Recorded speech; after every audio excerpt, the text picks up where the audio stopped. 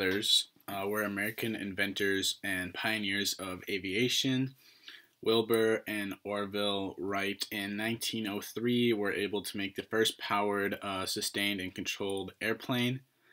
Um, in doing this, they introduced a whole, whole new mode of transportation to mankind, and this changed America because it was this huge country, and by introducing this way uh, for people to get around, uh, they brought this whole huge country together. So they really changed the world, uh, and they were incredible, brilliant minds. So yeah.